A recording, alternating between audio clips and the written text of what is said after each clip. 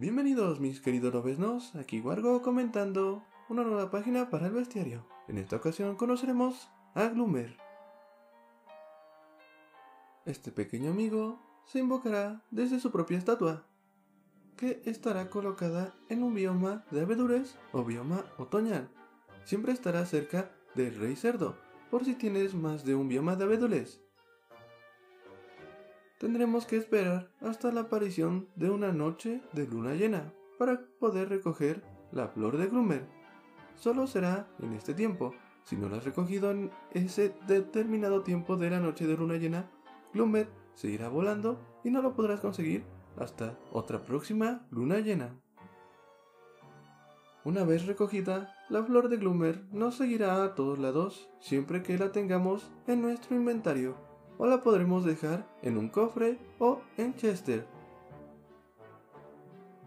Gloomer no puede viajar a las cuevas de Don't Star Together, pero en el Don't Star normal sí. La flor de Gloomer no se puede quemar por si la quieres dejar en el suelo y tienes miedo de que se queme por un perro de fuego o en verano.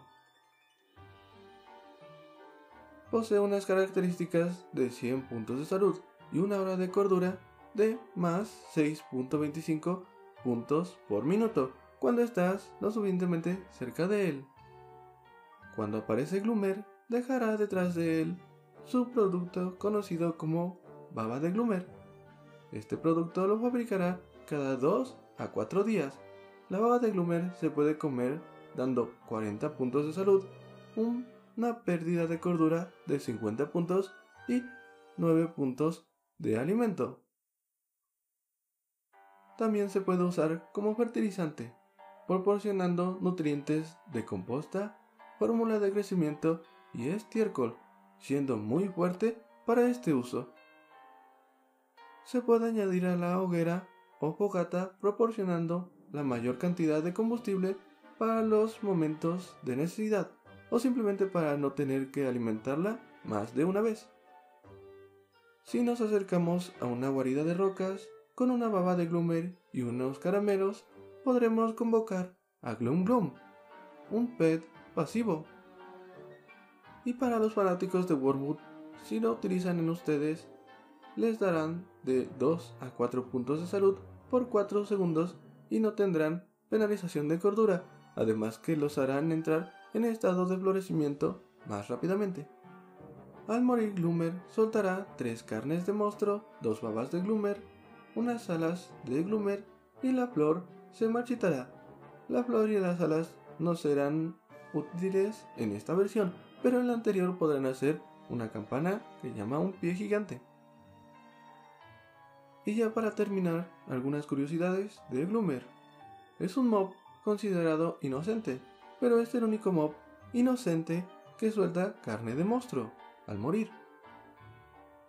Al morir, por nuestra mano, hará que el indicador de travesuras llegue a 50 puntos, lo que hará que aparezca Krampus. Es el único mob que dará tantos puntos de travesura por matarlo.